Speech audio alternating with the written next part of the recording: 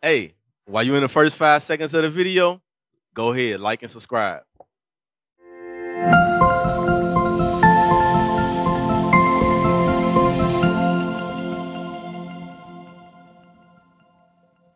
So if you identify yourself as an African American, you would be from the tribe of Judah.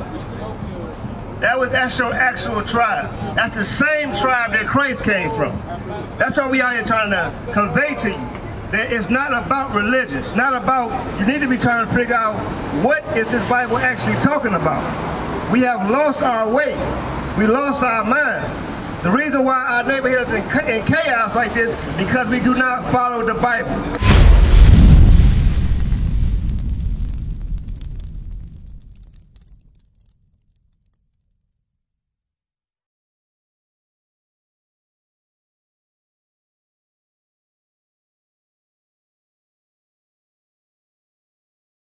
We are here to so-called blacks, Hispanics, and Native Americans who you are according to the Bible.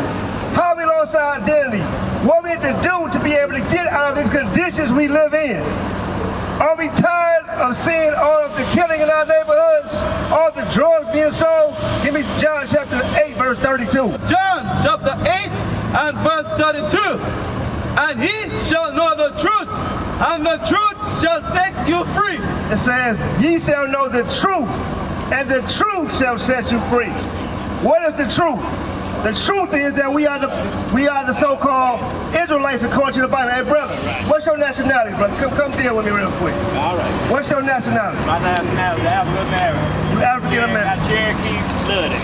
Right. What, so you got Cherokee blood in you, right? You African American. Do you know where the word Africa America came from? Where it come from? It's the name of two white men, two conquerors. It was a it was a a white man by the name of Scipio Africanus Okay. and Amerigo Vespucci. Well, let me, let me, let me be they straight with you. voyaged let me, this let me area. Be, straight with you right Yeah. now. Like I said, we done had so many titles. Right. So we go with the title That exactly. And why is that? Why we got so many titles? Because who gave it to us? Exactly. So we out here trying to show you that's in the Bible. Why we got there. What's your I name? understand, my brother, but Hold I, on. I, I don't follow nobody's religion. No, Nobody. we're not talking about religion right now. Come here. Okay, no, no, no, no. We ain't gonna talking get about started. religion though, bro. We ain't gonna get started. You miss, you miss. I appreciate You're not understanding where we coming from. We talking about our nationality. Okay. We, we talking about our nationality. That's exactly what we talking about. That's the problem. The Bible is our history book. It is not about religion. That's It's right. about conduct and codes and where we're supposed to live our lives. That's It's not about religion. They came out here and made up all these different religions so that we could follow after their God. Who God is that? The white man. He created all these religions. I want to show you about all these false religions that was made up. Because when we came over here, was we Baptists? When we was, when we came off these ships, huh, we was Baptists? Yeah, we was Israelites, exactly. But I'm saying, you said what? We are the true people, but I'm saying, what, what, when we came here, what about all the different religions that's out here, right? Baptist, Pentecostal, Jehovah Witness, Nation of Islam. Was we any of these things before we got over here? Man, what's your name, ma'am? Huh? Miss Shepard. What, what were we before we got over here, Miss Shepard? You ever ask yourself that? Well, woman didn't tell me. I'm about, I'm, asking, I'm about to tell you. You ever thought about that? What was our nationality before we was called nigger, negro, black? This is all new terms, right? That's not something that we were before then. So give me Deuteronomy chapter 28. I'm going to show you, according to the Bible, it identifies us, our nationality, because we lost our nationality in slavery, right? Read. This is the book of Deuteronomy, chapter 28 and verse 15. But it shall come to pass, if thou wilt not hearken unto the voice of the Lord thy God, to observe to do all his commandments So this is Moses speaking to the children of Israel. Read. And his statutes, which I command thee this day, that all these curses shall come upon thee and overtake thee. So he says, all these curses shall overcome thee and overtake thee. That's what's going to happen because you do not do, do what I tell you to do. He gave us statutes and commandments to live by, right? But we didn't follow him. Give me verse 46. Oh yeah, let me show you these religions right here. Look at all these different religions. You go to church, Miss Shepherd? What church, what type of church you go to? A Baptist church. Do you know, look at that. John Smith created the Baptist church in 1608. What was we doing in 1608, Miss Shepherd? What was our people doing? And a ship problem. Yeah, probably. In slavery. Right, right. We was we was in slavery. We, we was getting brought over here. Yeah, right. right? On these ships. Yeah. We was not Baptists. They forced us to be Baptists. you know? That's right. If we if we didn't want to be a Baptist, what you think happened to us, Miss Shepherd? Yeah, whipped the home. Huh? We yeah, we got whooped or we got killed, we got put to death. Right? So we out here showing you according to the Bible, hey bro, you are Israelite. Did you know that? That's our true nationality. We lost our nationality in slavery. We was forced to follow all these religions right here. That's all we out here describing right now. What's your name, brother? Marco. Marco. You see that?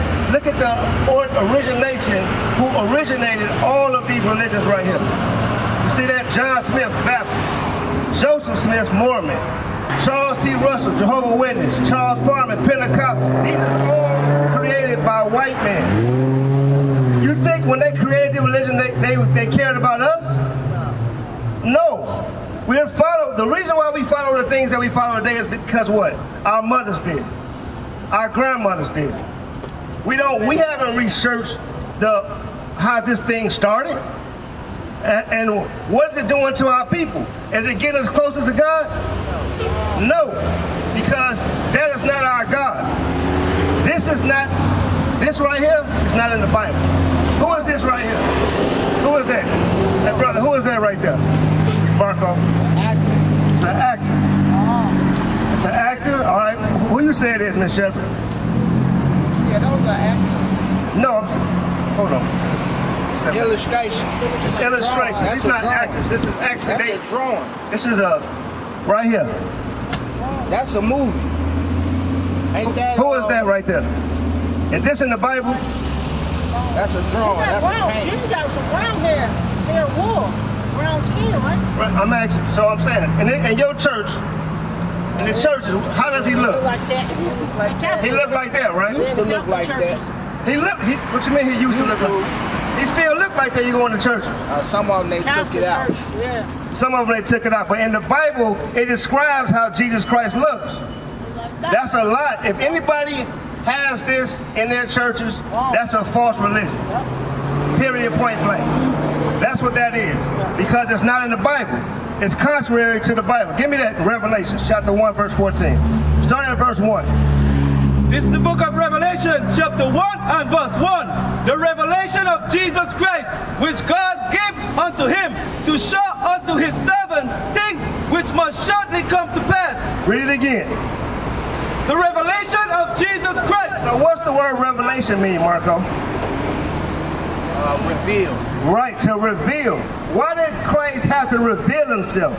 Because he knew in the last days they were going to change his image. That's right. They changed his image, right?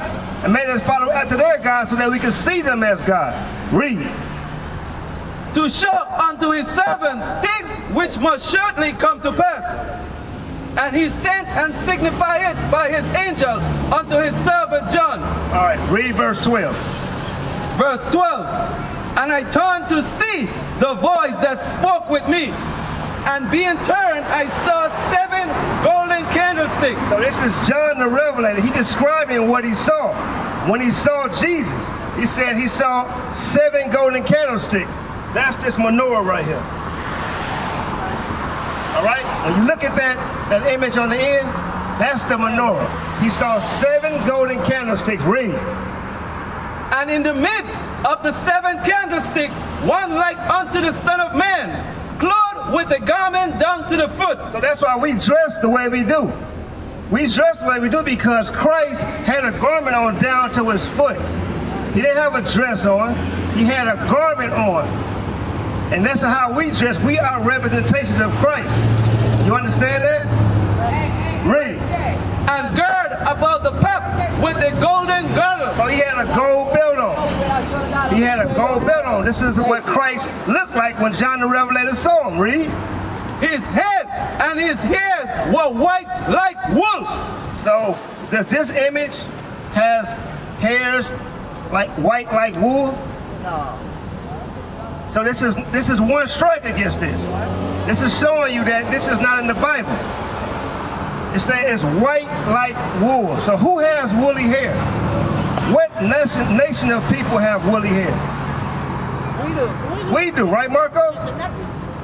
All type of people got woolly hair. Who is known to have woolly hair, Marco? Black people, Israelites, dark skin. Black people. Woolly hair? Yeah. What that mean? Tough hair?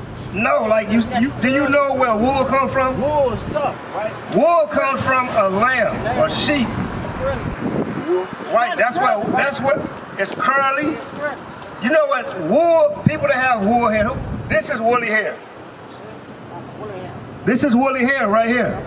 It's a perfect example of woolly hair. Christ had woolly hair. Read. As white as snow. And his hair was as white as snow because he was in his glory. Read. And his eyes were as a flame of fire. So he had, eye- his eyes were red. You know why his eyes White as snow. Yes, it's white as snow. Why it won't be white?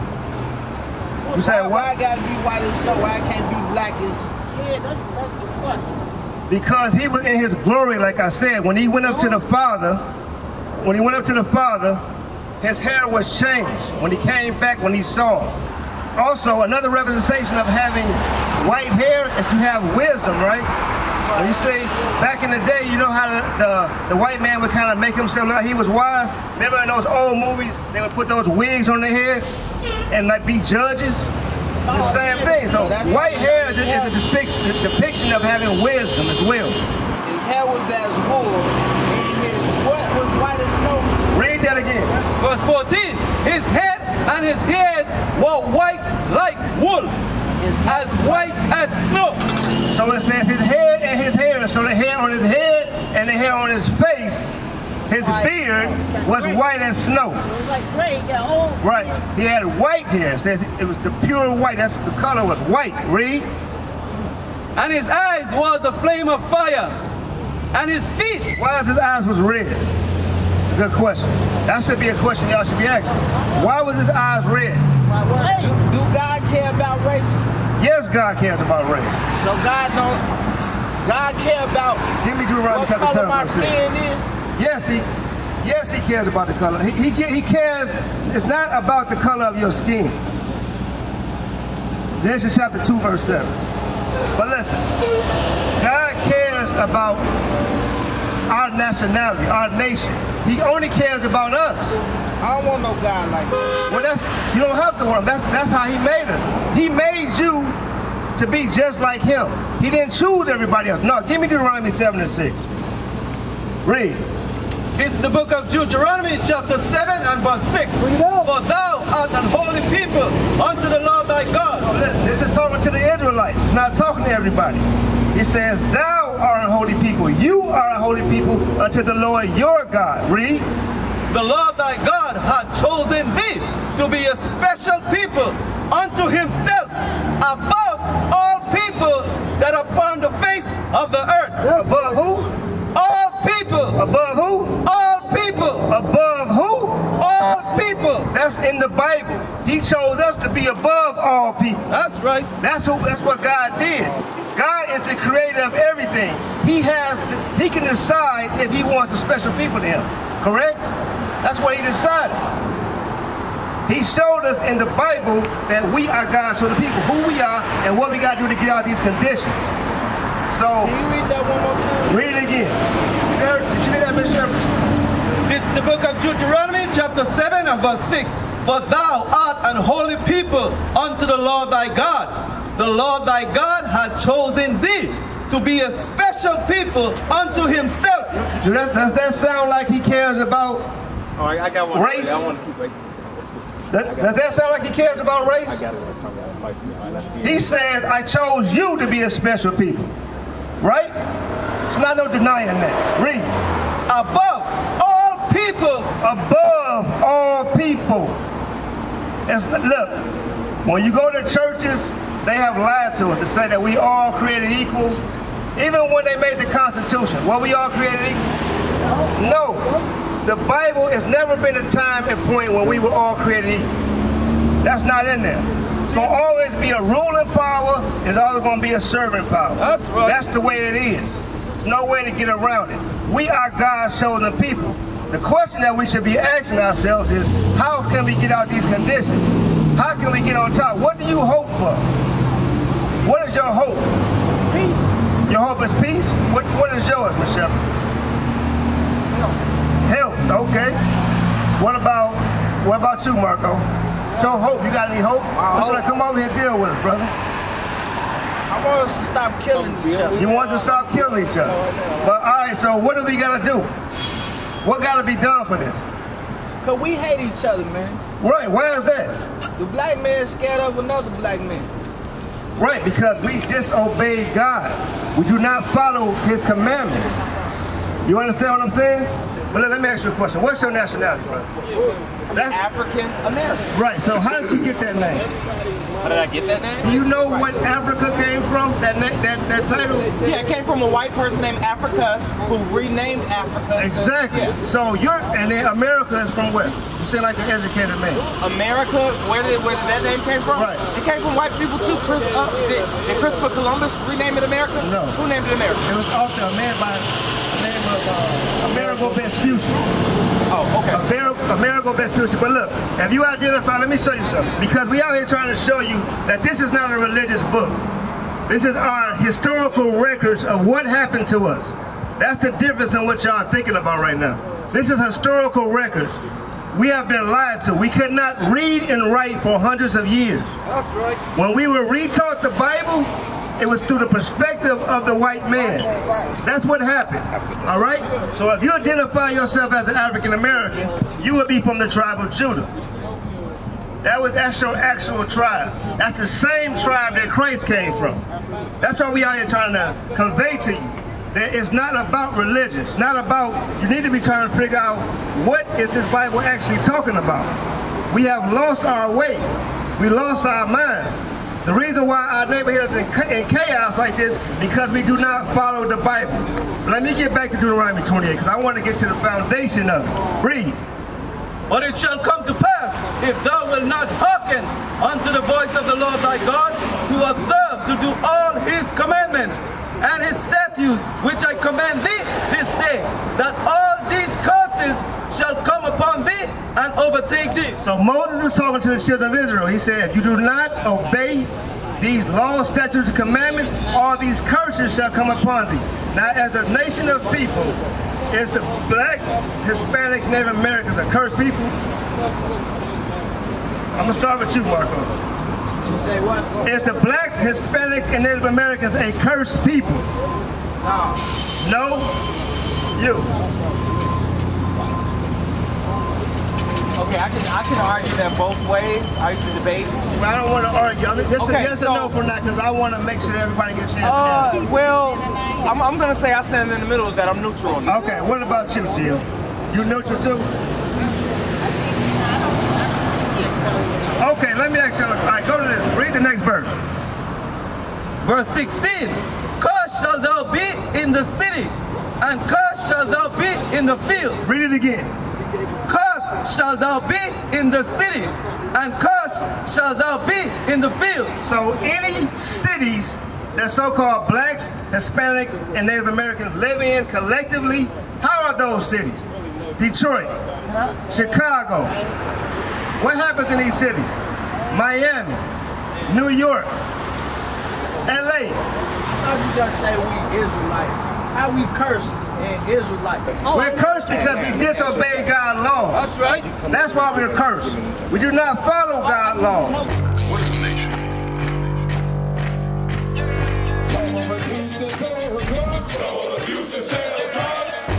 Nation is men leading by example.